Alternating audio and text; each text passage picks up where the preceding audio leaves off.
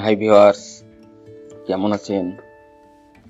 Viewers শীতের রাতে বঙ্গবন্ধু সেতুর অবস্থা দেখুন। ঘন কুয়াশায় কিছুই দেখা যাচ্ছে না। বন্ধুরা, ঘন কুয়াশায় এভাবেই পার হতে হয় বঙ্গবন্ধু যমুনা সেতু।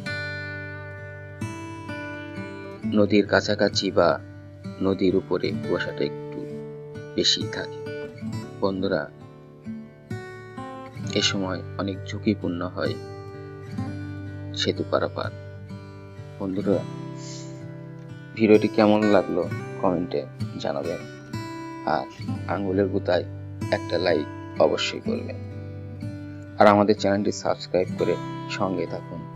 ধন্যবাদ বন্ধুরা। আবার দেখা হবে নতুন কোনো ভিডিওতে সে পর্যন্ত সবাই ভালো থাকুন সুস্থ থাকুন টাটা বাই বাই।